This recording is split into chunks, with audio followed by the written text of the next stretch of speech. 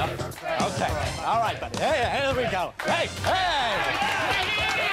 There we go. All right. There we go. Okay.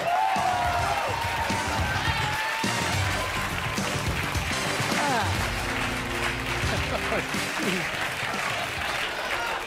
All right, ladies and gentlemen, thanks for coming. Thanks for joining us. You know, years ago, you used to go to your convenience store, get yourself a loaf of bread, maybe a quart of milk for mommy, pick up a pack of Luckies for the old man. If you had something left over, you get yourself a Slim Jim for the walk home.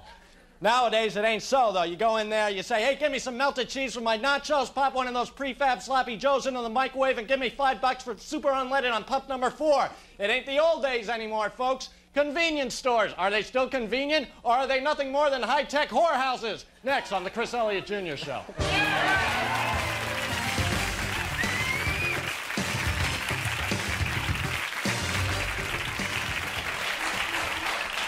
All right, ladies and gentlemen, we got a hot one here tonight.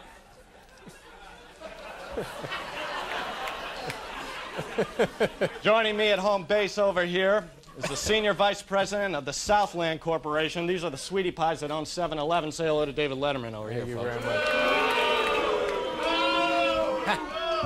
I got to tell you, it doesn't sound like you're going to win any popularity contest here tonight, pal.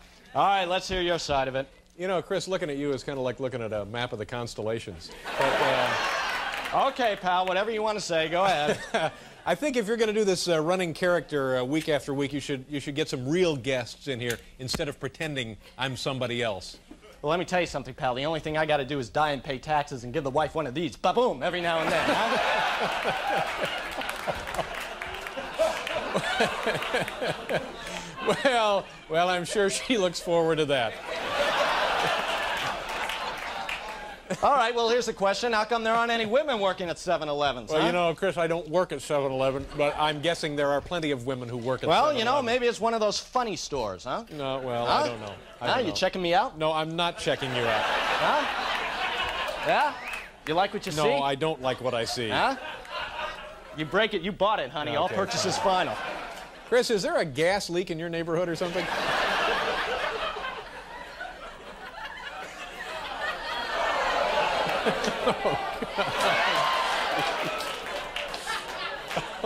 All right, well, we got a lot of callers out there. Let's go to the phones. God.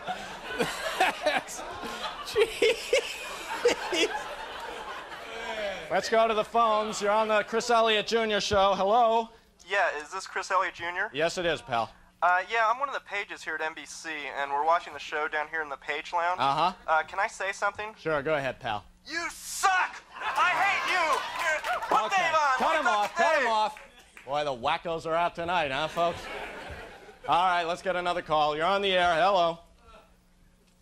Hello? Yeah, Chris, this is Hal. Yeah, Hal, where are you calling from? From the control room.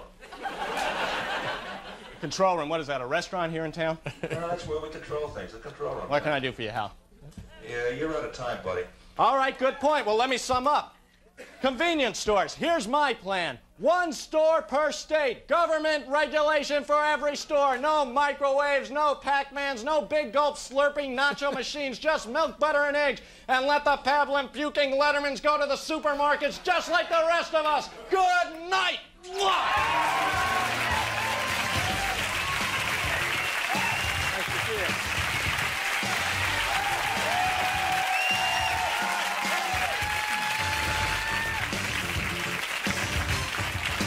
Hotel accommodations for some guests of this program were furnished by the Omni Berkshire Place Hotel, Manhattan's green and civilized oasis in exchange for this announcement. For reservations, call 1 800 The Omni.